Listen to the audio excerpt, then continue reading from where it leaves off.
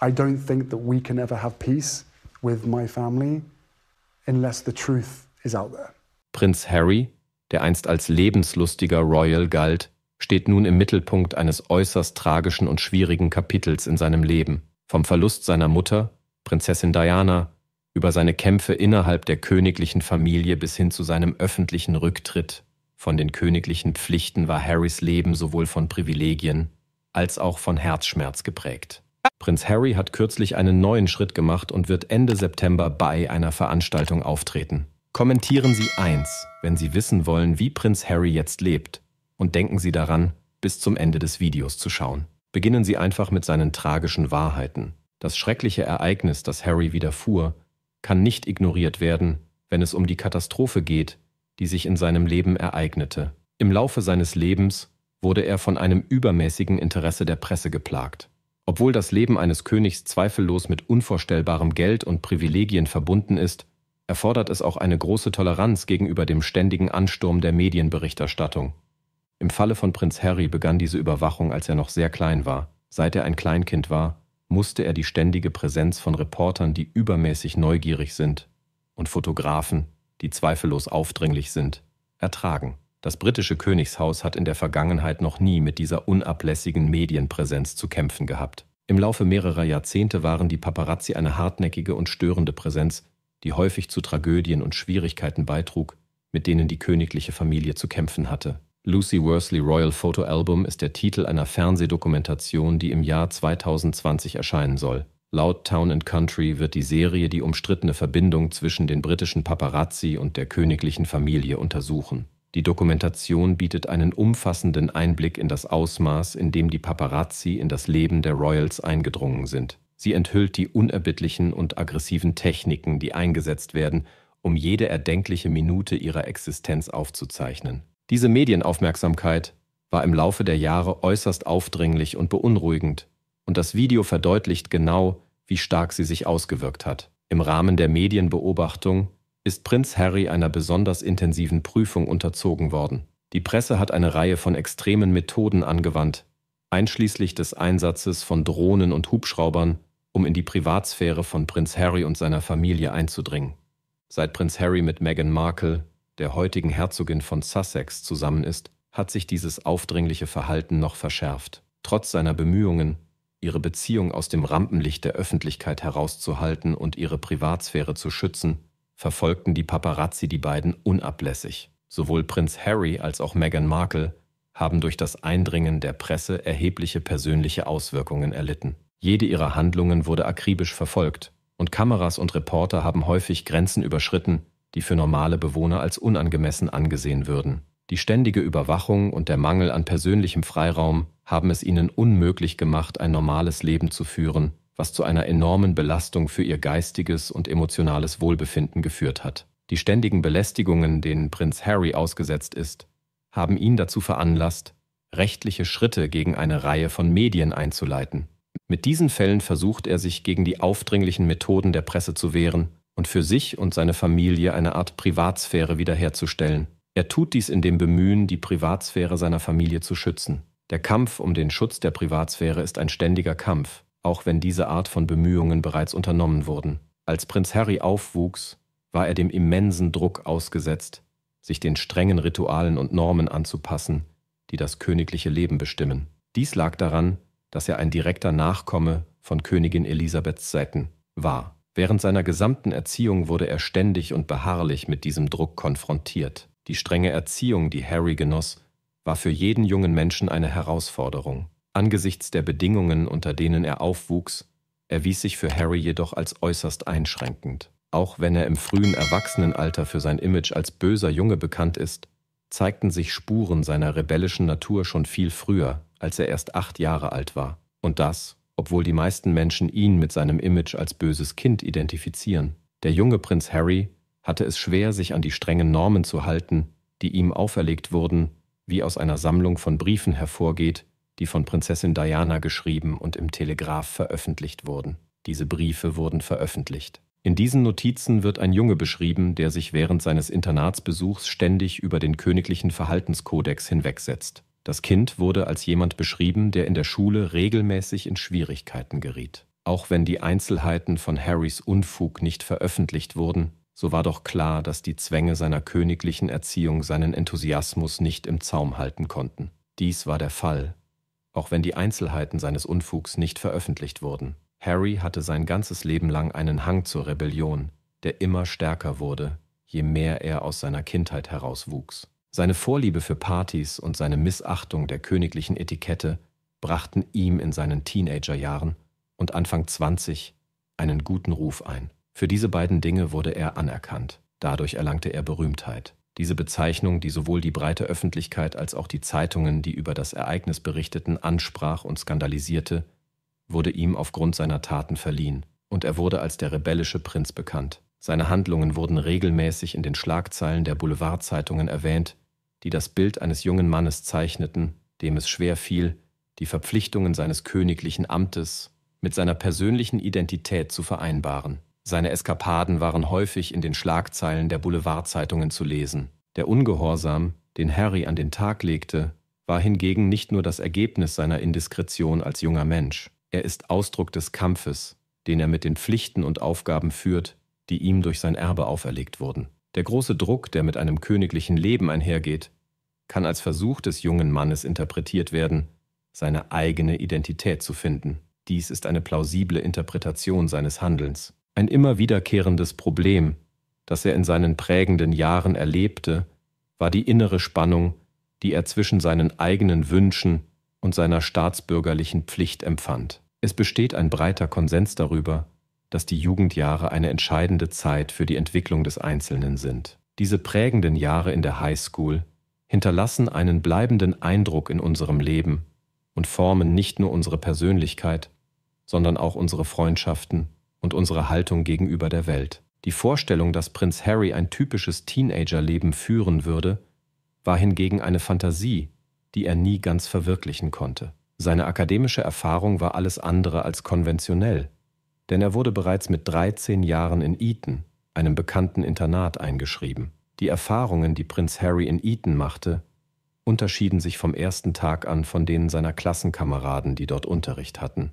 Als er sich mit seinen Lehrern bekannt machte und das Schulgelände besichtigte, wurde er von der Presse, die stets bereit war, jedes Detail seines Lebens festzuhalten, aufmerksam verfolgt. Aufgrund der ständigen Präsenz dieser intensiven Medienbeobachtung war es für ihn schwierig, sich zu integrieren und die relative Anonymität zu genießen, die für die Mehrheit der Schüler selbstverständlich ist. Während seiner Zeit in Eton konnte Prince Harry den Luxus genießen, ein eigenes Zimmer zu haben, das anderen Schülern nicht zur Verfügung stand. Andererseits war dies mit einer Reihe von Schwierigkeiten verbunden. Im Gegensatz zu seinen Altersgenossen wurde er von einem ständigen Leibwächter begleitet, der in dem Zimmer neben seinem eigenen schlief. Diese ständige Sicherheitspräsenz war zwar zu seinem Schutz notwendig, entfernte ihn aber noch weiter von der üblichen Erfahrung eines Internatsbesuchs und unterstrich den besonderen Druck, der mit seinem königlichen Rang einherging. Im Jahr 2018 führte die Publikation The Cut Interviews mit einigen Mitschülern von Prinz Harry in Eton, die einen Einblick in sein Leben während des Besuchs der Schule gaben.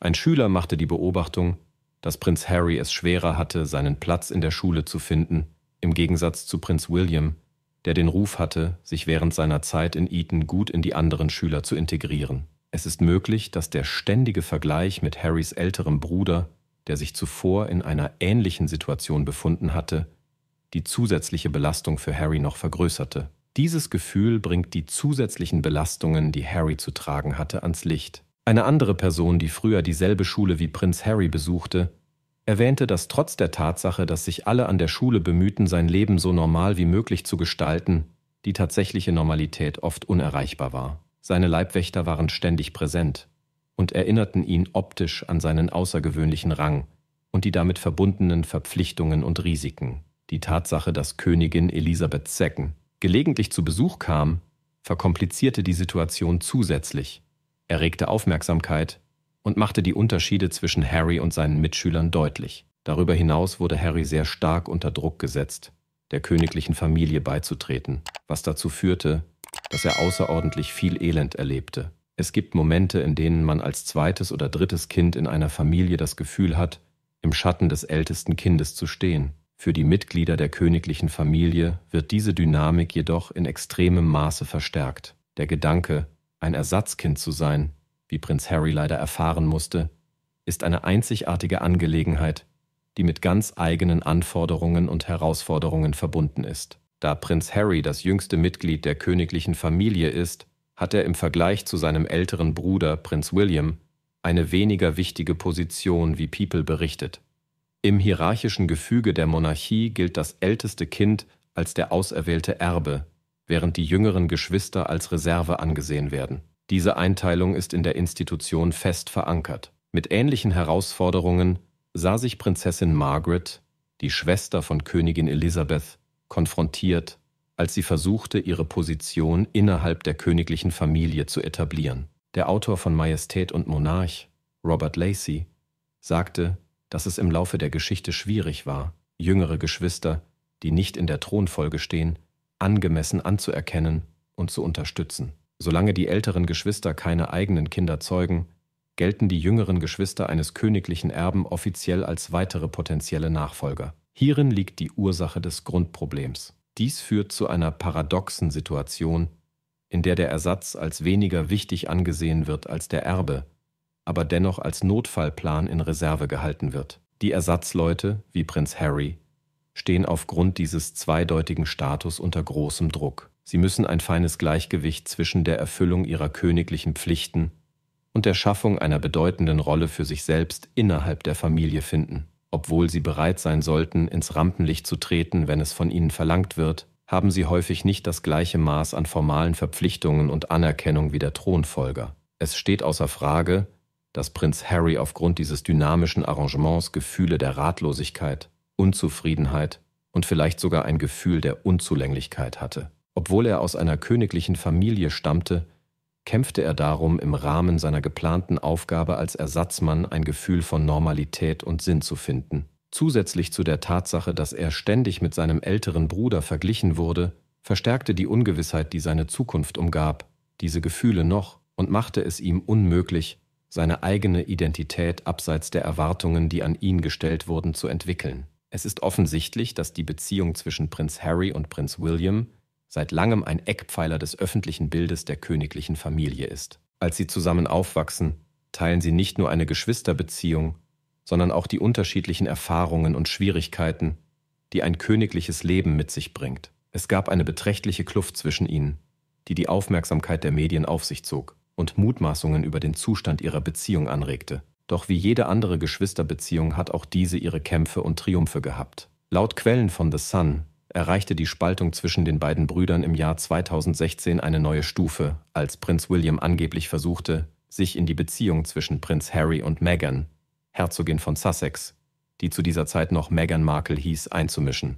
Mehrere Quellen berichteten, dass Prinz Harry stark auf die vermeintliche Einmischung reagierte was zu Spannungen zwischen den Brüdern führte. Als sich die Situation zuspitzte, beherrschten Behauptungen die Schlagzeilen der Boulevardpresse, wonach die Mitglieder der königlichen Familie miteinander stritten und kämpften. Während eines Interviews für den Dokumentarfilm Harry and Meghan, An African Journey, das im Oktober 2019 geführt wurde, gab Prinz Harry offen zu, dass seine Beziehung zu Prinz William angespannt ist. Diese Information wurde von Town Country veröffentlicht. Er gab unumwunden zu, dass unter Geschwistern Dinge passieren können, und erkannte damit an, dass sich die Dynamik zwischen ihnen tatsächlich verschoben hatte. Die dauerhafte Verbindung, die sie als Brüder haben, wurde von Prinz Harry hervorgehoben, der erklärte, aber schau, wir sind Brüder, wir werden immer Brüder sein, und das trotz der Schwierigkeiten, die sie zu überwinden hatten. Die Äußerungen von Prinz Harry gaben einen Einblick in die Feinheiten von Bruderbeziehungen,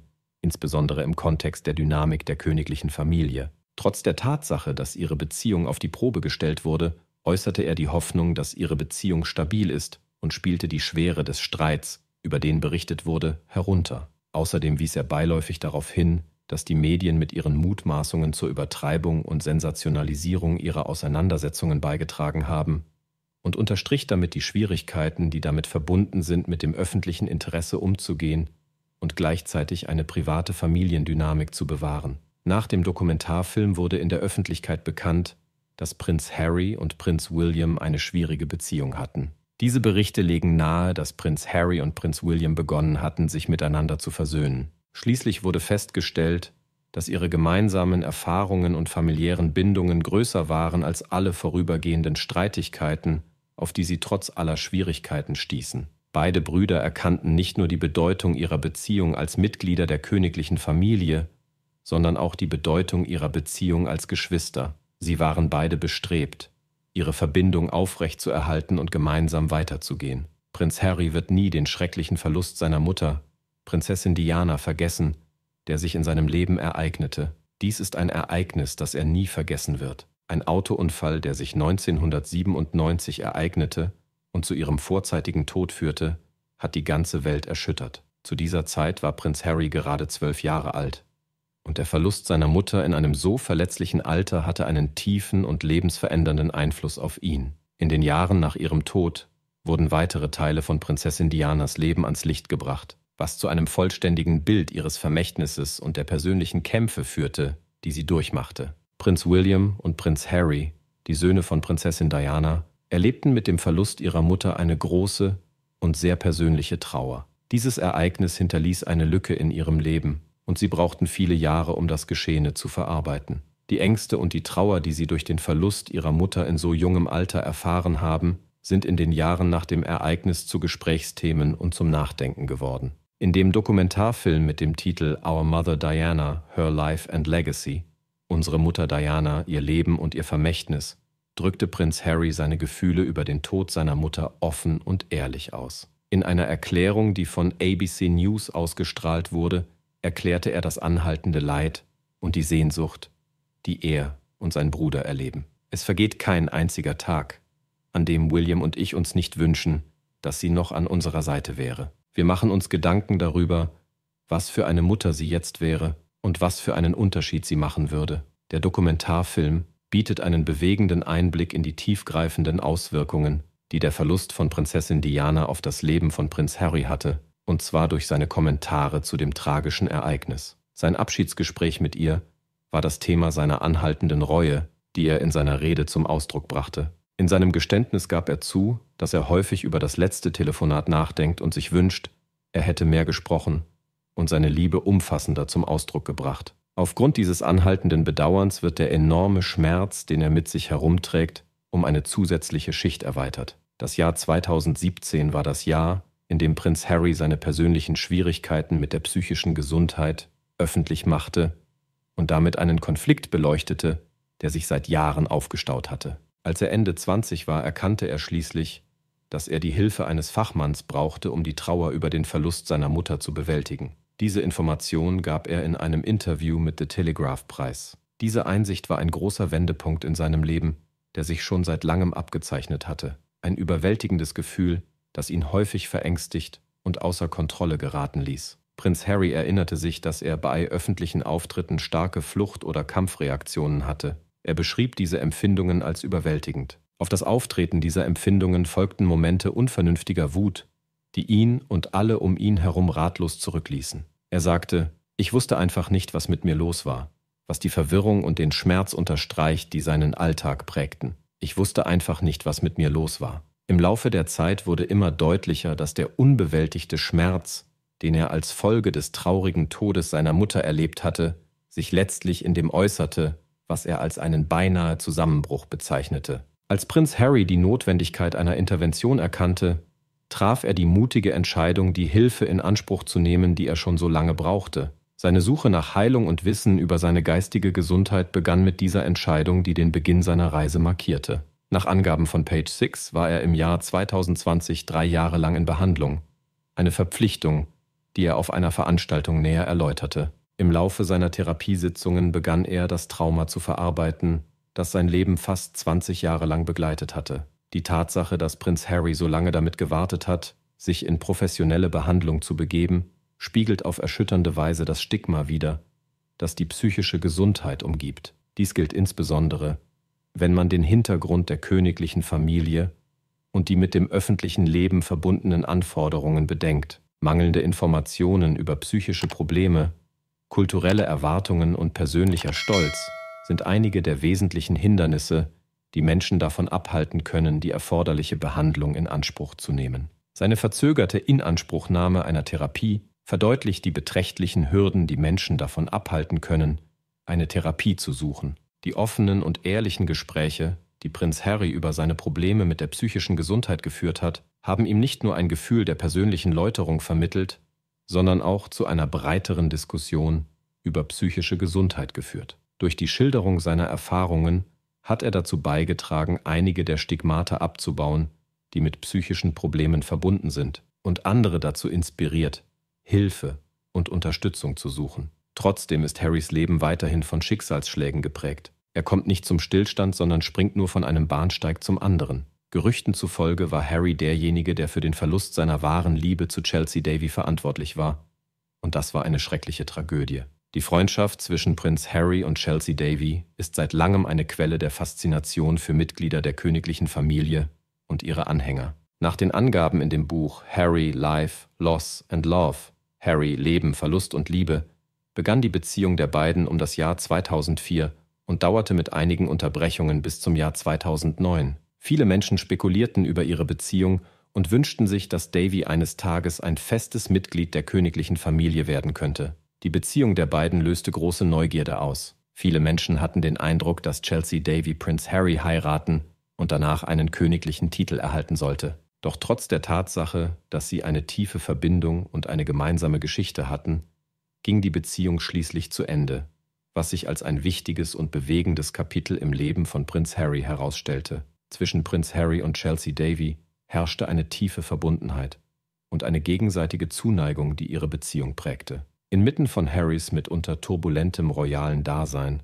sorgte die aus Simbabwe stammende Davy für ein Gefühl von Normalität und Bodenständigkeit in der Situation. Bei kritischen Ereignissen spielte sie eine unterstützende Rolle, wie zum Beispiel bei der Abfassung seiner Trauzeugenrede für die Hochzeit von Prinz William. Die Bedeutung ihrer Teilnahme an Harrys Leben wurde durch die Tatsache unterstrichen, dass sie an solch intimen und familiären Anlässen teilnahm, was die Tiefe ihrer Verbindung bewies. Der Stress und die Erwartungen des königlichen Lebens erwiesen sich für Davy als zu groß, obwohl die beiden offensichtlich eine große Leidenschaft füreinander hegten und die Öffentlichkeit große Hoffnungen in ihre Zukunft setzte. In einem Interview mit der Times gab sie ehrlich zu, dass ihr Leben mit Prinz Harry Wild erschreckend und unangenehm war Sie sagte auch, dass sie sich unwohl fühlte. Eine Reihe von Umständen spielte bei ihrer Entscheidung, die Beziehung zu beenden, eine wichtige Rolle, darunter die starke Kontrolle durch die Medien, die ständige Aufmerksamkeit der Öffentlichkeit und die strengen Anforderungen des königlichen Protokolls. Davy traf schließlich die Entscheidung, in ihr privates Leben in Simbabwe zurückzukehren, weg vom ständigen Rampenlicht, da sie die ständigen Paparazzi und den Verlust ihrer Privatsphäre als zu viel empfand. Dank des Eingreifens des Schicksals verliebte er sich schließlich in Meghan Markle, die heute als Meghan, Herzogin von Sussex, bekannt ist. Ihre Liebesgeschichte zog die Aufmerksamkeit der Menschen auf der ganzen Welt auf sich. Doch neben dem Glanz und der Pracht hatte das Paar mit einer Reihe von Herausforderungen zu kämpfen, vor allem mit der kritischen Betrachtung und der schlechten Darstellung, die sie von der britischen Presse erhielten. Die Art und Weise, wie die Medien mit Prinz Harry und Meghan Markle umgingen, war nicht nur aufdringlich, sondern überschritt häufig die Grenze zu offener Bigotterie und Vorurteilen. Das Paar war unablässiger und manchmal unbegründeter Kritik ausgesetzt, insbesondere von Seiten der britischen Boulevardpresse, die fragwürdige Artikel veröffentlichte, die die öffentliche Aufmerksamkeit und Neugierde anheizten. Insbesondere Meghan war in den Medien ungerechten Darstellungen und rassistischen Stereotypen ausgesetzt. Sie war die Hauptleidtragende dieser unerwünschten Aufmerksamkeit. Sowohl die psychische Gesundheit als auch das allgemeine Wohlbefinden des königlichen Paares wurden durch die ständigen Belästigungen durch die Boulevardpresse beeinträchtigt. Es war für sie unmöglich, ein normales Leben zu führen und ihren Pflichten als Mitglieder der königlichen Familie nachzukommen, da sie einem ständigen Ansturm negativer Schlagzeilen und aufdringlicher Paparazzi ausgesetzt waren. Obwohl sie sich bemühten, sich über die Kritik hinwegzusetzen und sich würdevoll zu verhalten, war der von der Presse verursachte Schaden nicht zu leugnen. Angesichts des vergifteten Medienklimas trafen Prinz Harry und Meghan die schwierige Entscheidung, sich von ihren Aufgaben als führende Mitglieder der königlichen Familie zurückzuziehen. Diese Entscheidung wurde aufgrund des vergifteten Medienklimas getroffen. Die öffentliche Erklärung, die sie an die Leiter der großen britischen Boulevardzeitungen richteten, war eine Rüge der unethischen Taktiken und der destruktiven Berichterstattung, der sie ausgesetzt waren, wie NBC News berichtete. Sie wollten die Kontrolle über ihre Geschichte zurückgewinnen ihre Privatsphäre und ihre Würde schützen und sich vor der Boulevardpresse abschirmen, indem sie sich weigerten, mit ihr zusammenzuarbeiten. Dann, Im Jahr 2019 trafen Prinz Harry und Meghan, Herzogin von Sussex, eine Entscheidung, die Schockwellen um die Welt sandte und eines der erstaunlichsten Ereignisse in der Geschichte der königlichen Familie markierte. Sie beschlossen, von ihren Pflichten als Könige zurückzutreten. Ihr Ausscheiden aus dem königlichen Leben wurde von der BBC bekannt gegeben und mit einer Mischung aus Erstaunen, Trauer und Mutmaßungen, sowohl von denjenigen, die gut informiert waren, als auch von anderen, die die königliche Familie bewunderten, begrüßt. Vor allem Prinz Harry zeigte sich sehr betroffen von der Entscheidung, was ein Hinweis auf das emotionale Gewicht dieser Entscheidung ist. Viele Menschen waren der Meinung, dass die Entscheidung des Paares, aus dem königlichen Leben auszusteigen, einen Bruch mit der Tradition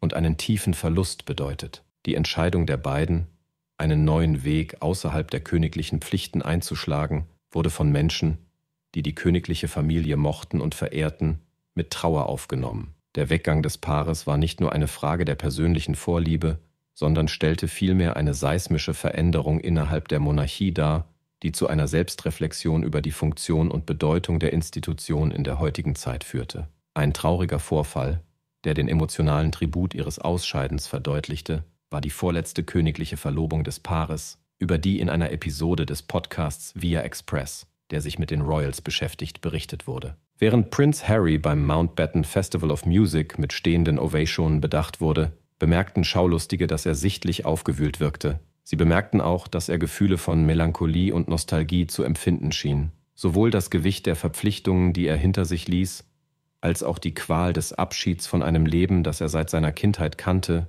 spiegelten sich in seinem emotionalen Verhalten wider, das Bände über die Schwierigkeiten des Abschiednehmens sprach. Trotz der offensichtlichen Trauer, die ihren Abschied umgab, fühlten sich Prinz Harry und Meghan verpflichtet, diese schwierige Entscheidung zu treffen, um ihr persönliches Wohlbefinden und das ihrer Familie zu gewährleisten. Ihre seelische Gesundheit und ihr Glück hatten unter der heftigen Kritik der Medien und der unablässigen Kontrolle durch die Öffentlichkeit gelitten, was dazu führte, dass sie ihrem persönlichen Glück und ihrer Autonomie eine höhere Priorität einräumten als ihren königlichen Pflichten. Prinz Harry fühlte sich zwar seiner Familie und seinem Land gegenüber verantwortlich und verpflichtet, war sich aber auch bewusst, wie wichtig es ist, seinen eigenen Weg zu gehen und aufrichtig zu leben. Die Entscheidung, die königliche Familie zu verlassen, wurde nicht leichtfertig getroffen, sondern als wesentlicher Schritt in Richtung einer befriedigenderen und langfristigen Zukunft für sich und ihren Sohn Archie betrachtet. Es war ein Wendepunkt im Leben von Prinz Harry, als er sich entschloss, von seinen königlichen Pflichten zurückzutreten. Diese Entscheidung bedeutete eine Abkehr von der Tradition und den Beginn eines neuen Kapitels, das mit Ungewissheit und Versprechungen verbunden war. Obwohl der Rücktritt zweifellos ein schmerzhaftes Ereignis für die königliche Familie und ihre Anhänger war, bot er auch eine Chance für die persönliche Entwicklung, die Selbstfindung und die Schaffung eines Weges, der enger mit ihren Idealen und Zielen verbunden ist als Prinz Harry und Meghan Markle die außergewöhnliche Entscheidung trafen, sich von ihren Pflichten als hochrangige Royals zurückzuziehen, mussten sie den Verlust ihres HRH-Titels hinnehmen, der für seine oder ihre königliche Hoheit steht. Dies war eine dramatische Abkehr von der jahrhundertealten Tradition. Im Vereinigten Königreich ist der HRH-Titel eine sehr begehrte Auszeichnung, die traditionell den Kindern und Enkeln der Königin vorbehalten ist. Er ist ein Zeichen für die direkte Abstammung von dem König, der jetzt an der Macht ist, und bringt ein Gefühl von königlichem Privileg und Auszeichnung mit sich.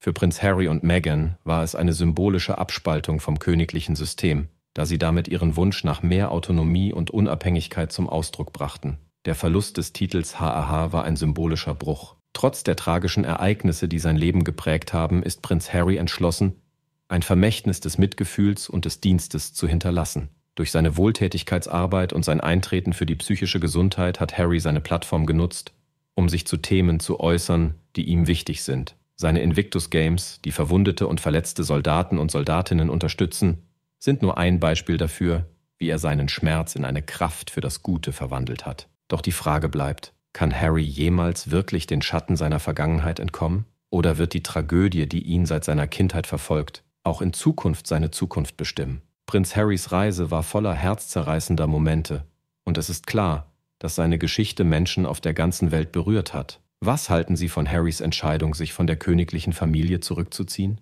Glauben Sie, dass er die richtige Entscheidung für seine psychische Gesundheit getroffen hat? Oder war es ein Schritt zu weit? Teilen Sie uns Ihre Meinung in den Kommentaren unten mit. Wir würden gerne wissen, was Sie denken. Vielen Dank, dass Sie uns bei diesem emotionalen Einblick in das Leben von Prinz Harry begleiten. Ganz gleich, was Sie von der königlichen Familie halten.